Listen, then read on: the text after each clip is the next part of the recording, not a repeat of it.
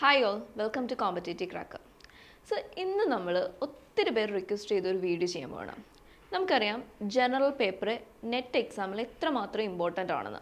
അതുകൊണ്ട് തന്നെ ജനറൽ പേപ്പറിന്റെ ഒരു സിലബസ് നമുക്ക് ഡിസ്കസ് ചെയ്യാം. ഓക്കെ അല്ലേ? യൂണിറ്റ് ഫസ്റ്റ് ടീച്ചിങ് ആപ്റ്റിറ്റ്യൂഡ് എല്ലാ എക്സാമിനും ഏത് സബ്ജക്റ്റിന്റെ ആണെങ്കിലും എല്ലാ എക്സാമിനും ഒരു three two five questions minimum ചോദിക്കാറുണ്ട്. അത്രയ്ക്ക് ഇമ്പോർട്ടന്റ് അതേപോലെ കുറച്ച് വാസ്റ്റ് ആയിട്ടുള്ള ഒരു യൂണിറ്റ് ആണ് ടീച്ചിങ് ആപ്റ്റിറ്റ്യൂഡ് എന്ന് പറയുന്നത്. ടീച്ചിങ് ആപ്റ്റിറ്റ്യൂഡിൽ എന്തൊക്കെയാണ് ശ്രദ്ധിക്കേണ്ട ഇമ്പോർട്ടന്റ് ആയിട്ടുള്ള ടോപ്പിക്സ് എന്ന് നോക്കാം. ഫസ്റ്റ് വരുന്നത് ടീച്ചിങ് എന്താണ് അതിന്റെ കോൺസെപ്റ്റ് ഒബ്ജക്റ്റീവ്സ് പിന്നെ ലെവൽസ് ഓഫ് ടീച്ചിങ് അതെന്ന് പറയുമ്പോൾ മെമ്മറി ലെവൽ ടീച്ചിങ് ഉണ്ട് ചെറിയ കുട്ടികളുടെ അണ്ടർസ്റ്റാൻഡിങ് ലെവൽ അതോടൊപ്പം തന്നെ റിഫ്ലക്റ്റീവ് ലെവൽ ടീച്ചിങ് ഈ മൂന്ന് ലെവൽ ഓഫ് ടീച്ചിങ് ടീച്ചിങ്ങിൽ നിന്നും ഒത്തിരി ക്വസ്റ്റ്യൻസ് പലപ്പോഴും വരാറുണ്ട്. അതേപോലെ തന്നെ ടീച്ചിങ്ങിന്റെ ക്യാരക്ടറിസ്റ്റിക്സ് ബേസിക് റിക്വയർമെന്റ്സ് ഓക്കെ പിന്നെ വരുന്ന ഒരു ഏരിയ എന്ന് പറയുന്നത് ലേണേഴ്സ് ക്യാരക്ടറിസ്റ്റിക്സ് ആണ്. ടീച്ചറിന്റെ മാത്രം പോലെ ലേണേഴ്സിന്റെ ക്യാരക്ടറിസ്റ്റിക്സ് ഇമ്പോർട്ടന്റ് ആണ്. അതോടൊപ്പം തന്നെ അത് തന്നെ രണ്ടായിട്ട് ഡിവൈഡ് ചെയ്യുന്നുണ്ട്. അഡോളസൻ ലേണേഴ്സും അഡൽ ലേണേഴ്സും അതിൽ തന്നെ academic social emotional cognitive cognitive ഒക്കെ വരുമ്പോഴാണ് ബ്ലൂം സ്റ്റാറ്റ്സോണമി ഒക്കെ വരുന്നത്. ഇൻഡിവിജ്വൽ ഡിഫറൻസസ് പിന്നെ വരുന്നത് ഫാക്ടേഴ്സ് അഫക്റ്റിംഗ് ടീച്ചിങ് ടീച്ചർ ടീച്ചിങ്ങിനെ അഫക്റ്റ് ചെയ്യുന്ന ഫാക്ടേഴ്സ് എന്തൊക്കെയാണ് അത് ടീച്ചർ ബേസ്ഡ് ആകാം ലേണർ ബേസ്ഡ് ആകും സപ്പോർട്ട് മെറ്റീരിയൽ കരിക്കുലം സിലബസ് അങ്ങനെ ഒത്തിരി കാര്യങ്ങളെ കുറിച്ചിട്ട് പറയുന്നതാണ്.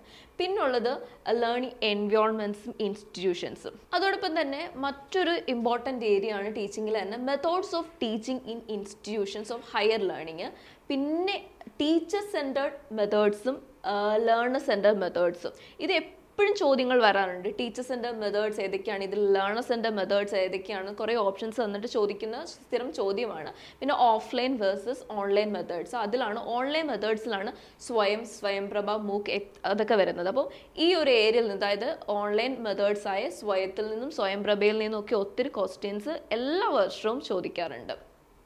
പിന്നെ ടീച്ചിങ് സപ്പോർട്ട് സിസ്റ്റം അത് മൂന്ന് തരത്തിലാണുള്ളത്. Traditional method modern I C T based പിന്നെ ഇവാലുവേഷൻ സിസ്റ്റംസ് ഇവാലുവേഷൻ സിസ്റ്റംസിൽ നിന്ന് ചോദ്യങ്ങൾ വലുതായിട്ട് ഇതിനുള്ള മുന്നുള്ള വർഷങ്ങളിൽ വന്നിട്ടില്ലെങ്കിലും റീസെന്റ് ആയിട്ട് ഈ ഒരു ഏരിയയിൽ നിന്ന് നല്ലപോലെ ക്വസ്റ്റ്യൻസ് വരുന്നുണ്ട്. അതിൽ തന്നെ elements and types of evaluation ഇപ്പോൾ ഒരു ടൈപ്പ് ഓഫ് ഇവാലുവേഷന്റെ ക്യാരക്ടറിസ്റ്റിക്സ് തന്നിട്ട് ഇത് ഏത് ടൈപ്പ് ഓഫ് ഇവാലുവേഷൻ ആണെന്ന് ചോദിക്കാറുണ്ട്.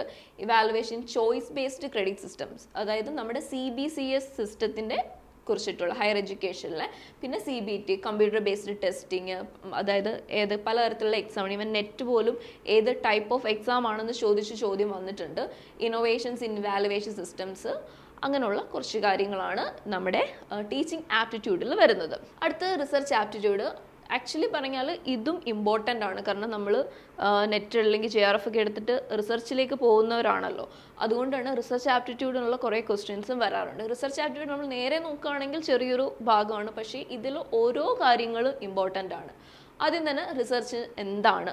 എന്ത് ടൈപ്സ് ഓഫ് റിസർച്ച് അതിന്റെ ക്യാരക്ടറിസ്റ്റിക്സ് പോസിറ്റീവ്സം എന്താണ്? പോസ്റ്റ് പോസിറ്റിവിസ്റ്റിക് അപ്രോച്ച് എന്താണ്? ഇതൊക്കെയാണ്. പിന്നെ വരുന്ന മെത്തേഡ്സ് ഓഫ് റിസർച്ച് അതിൽ തന്നെ പല റിസർച്ച് വരുന്നുണ്ട്. എക്സ്പെരിമെന്റൽ വരുന്നുണ്ട് ഡിസ്ക്രിപ്റ്റീവ് വരുന്നുണ്ട് ഹിസ്റ്റോറിക്കൽ വരുന്നുണ്ട് ക്വാളിറ്റേറ്റീവ് വരുന്നുണ്ട് ക്വാണ്ടിറ്റേറ്റീവ് വരുന്നുണ്ട്. ക്വാളിറ്റേറ്റീവിൽ നിന്നും ക്വാണ്ടിറ്റേറ്റീവിൽ നിന്നും ഒത്തിരി ക്വസ്റ്റ്യൻസ് വരാറുണ്ട്. പിന്നെ സ്റ്റെപ്സ് ഓഫ് റിസർച്ച് എന്താണ് റിസർച്ചിന്റെ സ്റ്റെപ്സ് അപ്പോൾ ആ ഒരു സ്റ്റെപ്സ് ഓഫ് റിസർച്ച് എന്ന് പറയുമ്പോൾ പലപ്പോഴും ഓർഡർ മാറ്റിയിട്ട് തന്നിട്ട് കറക്റ്റായിട്ടുള്ള സ്റ്റെപ്സ് ഓഫ് റിസർച്ച് ചോദിക്കാറുണ്ട്. അതൊരു റിപ്പീറ്റഡ് ക്വസ്റ്റ്യനും കൂടിയാണ്.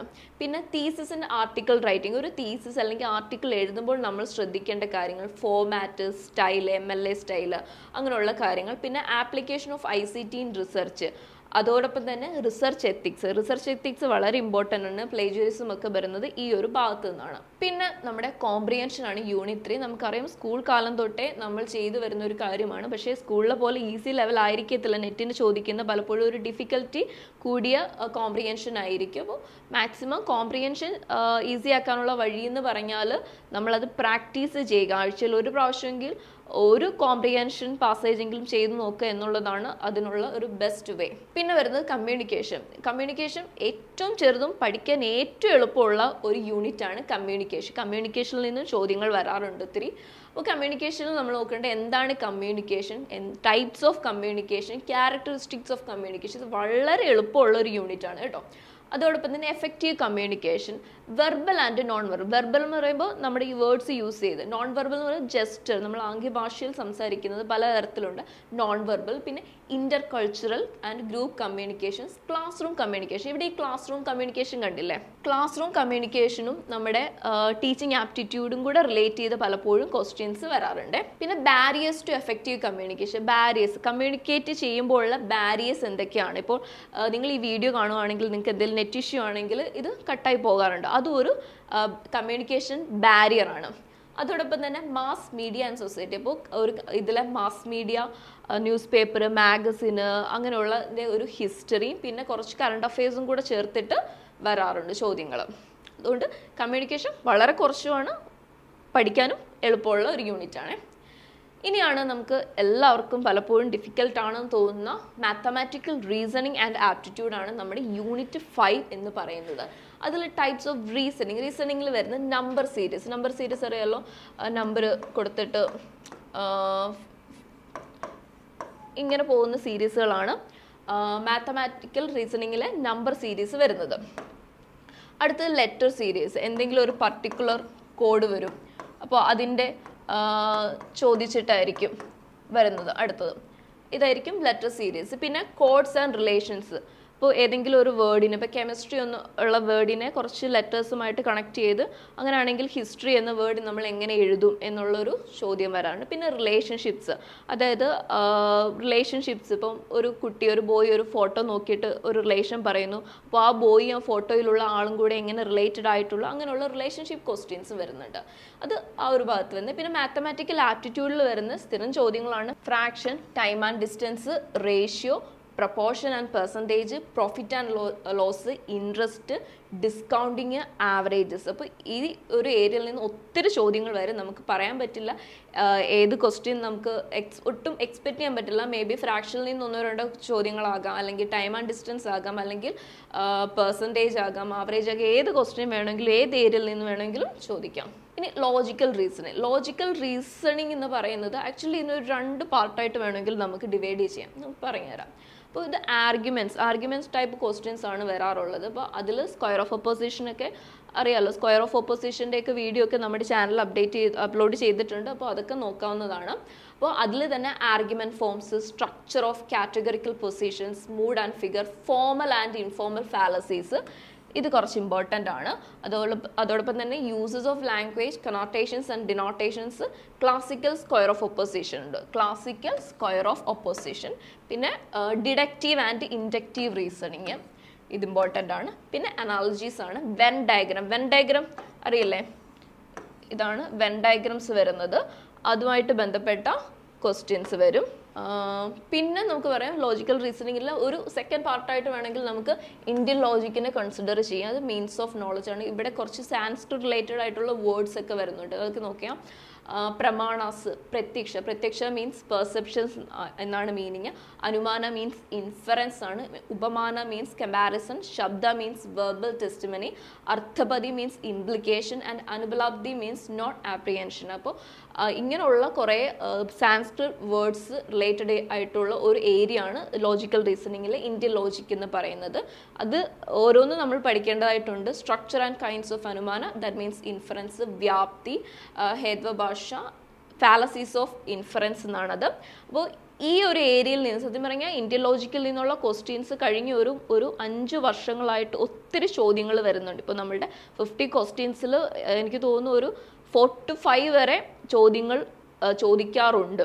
അപ്പോൾ നേരത്തെ ഒന്നും ഇത്രയും ചോദ്യങ്ങൾ വന്നിട്ടില്ല. ബട്ട് റീസെന്റ് ആയിട്ട് ഇന്ത്യൻ ലോജിക്കൽ ലോജിക്കൽ റീസണിങ്ങിൽ തന്നെ ഇന്ത്യൻ ലോജിക്കിൽ നിന്നും ചോദ്യങ്ങൾ ഒത്തിരി വരാറുണ്ട്. ഇനി ഡേറ്റ ഇന്റർപ്രിട്ടേഷൻ ഡേറ്റ ഇന്റർപ്രിട്ടേഷൻ കുറച്ച് മാത്സ് റിലേറ്റഡ് ആണ്.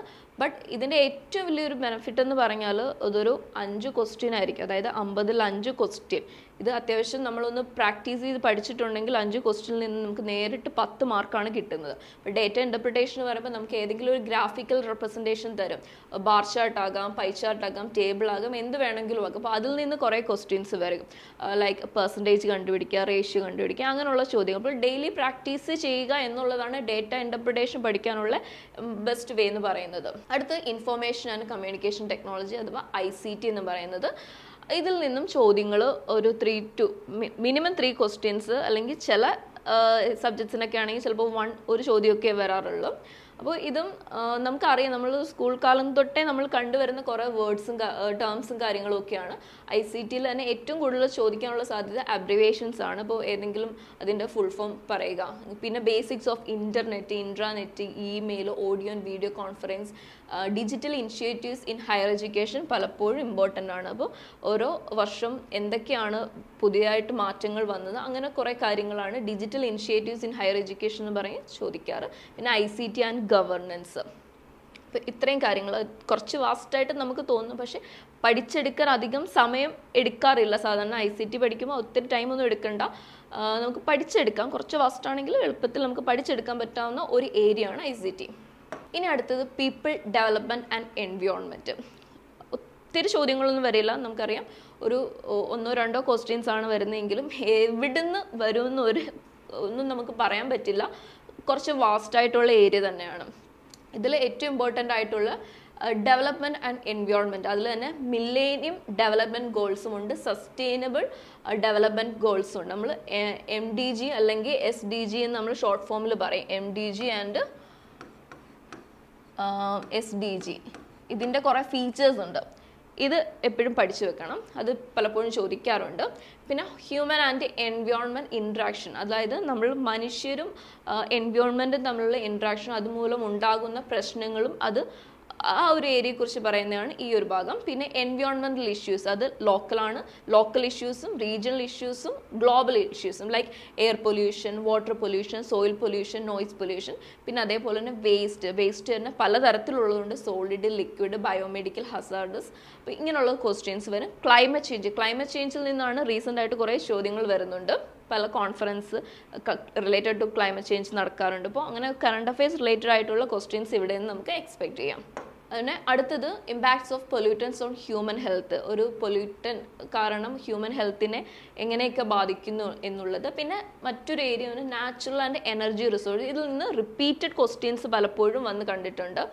അതോടൊപ്പം തന്നെ നാച്ചുറൽ ഹസേർഡ്സ് ആൻഡ് ഡിസാസ്റ്റേഴ്സ് ഒരു ഇപ്പം ഫോർ എക്സാമ്പിൾ ഇടയ്ക്കൊരു ചോദ്യം വന്നിട്ടുണ്ട്. ഏറ്റവും ഒരു ഡ്രൗട്ട് റിലേറ്റഡ് ആയിട്ടുള്ള ഡ്രൗട്ട് ഒരു ഡിസാസ്റ്റർ ആണ് അങ്ങനെ ഒരു റിലേറ്റഡ് ക്വസ്റ്റ്യൻ വന്നിട്ടുണ്ടായിരുന്നു. പിന്നെ എൻവയോൺമെന്റൽ പ്രൊട്ടക്ഷൻ ആക്ട്സ് ഉണ്ട് ഒത്തിരി ആക്ട്സ് ഉണ്ട്. National action plan on climate change international agreements അതിൽ തന്നെ Montreal protocol Rio summit convention on biodiversity Kyoto protocol എന്നൊക്കെ സ്ഥിരം ചോദ്യം വരുന്നതാണ്. അപ്പോൾ ഇതൊക്കെയാണ് നമ്മുടെ എൻവയോൺമെന്റ് ഭാഗത്ത് നിന്ന് വരുന്നത്. ഇനി ഹയർ എഡ്യൂക്കേഷൻ സിസ്റ്റം ഏറ്റവും കൂടുതൽ കറണ്ട് അഫെയർസ് ഏറ്റവും കൂടുതൽ കറണ്ട് അഫെയർസ് റിലേറ്റഡ് ക്വസ്റ്റ്യൻസ് വരുന്ന ഹയർ എഡ്യൂക്കേഷൻ സിസ്റ്റത്തിൽ നിന്നാണ്. അപ്പോൾ അതിൽ എന്തൊക്കെയാണെന്ന് നോക്കാമല്ലോ institutions of higher learning and education ancient India ancient ഇന്ത്യയിലെ ഇൻസ്റ്റിറ്റ്യൂഷൻസ് ഏതൊക്കെയായിരുന്നു? നളന്ത യൂണിവേഴ്സിറ്റി പോലുള്ള അതിന്റെ ഫീച്ചേഴ്സ് അവിടെ ഏതൊക്കെ സബ്ജക്ട്സ് ഉണ്ടായിരുന്നു? അവിടെ അഡ്മിഷൻ എങ്ങനെയായിരുന്നു? അങ്ങനെയുള്ള കാര്യങ്ങളാണ് അവിടെ വരുന്നത്. പിന്നെ evolution of higher learning and research in post independence India post independence ഇന്ത്യയിലെ എവല്യൂഷൻ ഓഫ് ലേണിംഗ് ആ എഡ്യൂക്കേഷന്റെ ആ ഒരു ഗ്രോത്തിനെ കുറിച്ചിട്ട് പറയുന്നത്. Oriental conventional non conventional learning programmes in India ഇന്ത്യയിലെ തന്നെ oriental conventional non conventional learning പ്രോഗ്രാംസിനെ കുറിച്ചിട്ട് ഈ ഭാഗത്ത് വരുന്നുണ്ട്. പിന്നെ professional and technical and skill based education നമ്മൾ ഓരോ വർഷവും എഡ്യൂക്കേഷനിൽ പല മാറ്റങ്ങളും പുതിയ ഇന്നോവേഷൻസും വരുന്നുണ്ട്. അത് റിലേറ്റഡ് ആയിട്ടുള്ള questions value education and എൻവയോൺമെന്റൽ education policies governance and administration അപ്പോൾ ഇങ്ങനെയുള്ള കുറേ ക്വസ്റ്റ്യൻസ് വരുന്നുണ്ട്. അപ്പോൾ ഫോർ എക്സാമ്പിൾ നമ്മുടെ എൻ ഇ പി ഇപ്പോൾ എൻ ഇ പി വന്നതിന് ശേഷം ഉള്ള നെറ്റ് എക്സാമിലെല്ലാം ഒരു എൻ ഇ പി റിലേറ്റഡ് ആയിട്ടുള്ള ക്വസ്റ്റ്യൻ വന്നിട്ടുണ്ട്. നാഷണൽ എഡ്യൂക്കേഷൻ പോളിസി അപ്പോൾ ആ ഒരു ക്വസ്റ്റ്യൻ റിലേറ്റഡ് ആയിട്ടുള്ള ക്വസ്റ്റ്യൻ കുറേ എക്സാമിൽ വന്നിട്ടുണ്ട്. അപ്പോൾ അതൊക്കെ നോക്കേണ്ട കാര്യമാണ്. അപ്പോൾ ഇത്രയും കാര്യങ്ങളാണ് പേപ്പർ വൺ സിലബസിൽ ഉള്ളത്. അതിൽ ഏറ്റവും ഇമ്പോർട്ടന്റ് ആയിട്ടുള്ള കാര്യങ്ങളെല്ലാം ഞാൻ പറഞ്ഞിട്ടുണ്ട്. അപ്പോൾ നമുക്കറിയാം ഡിസംബർ രണ്ടായിരത്തി ഇരുപത്തി മൂന്ന് നെറ്റ് എക്സാം ഇങ്ങ് എത്താറായി. Competitive cracker already exam batches start ചെയ്ത് കഴിഞ്ഞു. നിങ്ങൾക്കറിയാം ക്ലാസ്സിന്റെ ഫീച്ചേഴ്സ് എന്തൊക്കെയാണെന്ന്. സ്റ്റുഡിയോ റെക്കോർഡഡ് ക്ലാസ്സാണ് ഡൗട്ട് ക്ലിയറൻസ് സെഷൻ ഉണ്ട്. ലൈവ് ക്ലാസ്സുകളുണ്ട് അപ്പോൾ ജോയിൻ ചെയ്യാൻ താല്പര്യമുള്ള താഴെ കാണുന്ന നമ്പറിൽ കോൺടാക്റ്റ് ചെയ്യാവുന്നതാണ്. നിങ്ങൾ ഇനി ആദ്യമായിട്ടാണ് ഈ ചാനൽ കാണുന്നതെങ്കിൽ തീർച്ചയായും ലൈക്ക് ചെയ്യുക സബ്സ്ക്രൈബ് ചെയ്യുക. താങ്ക്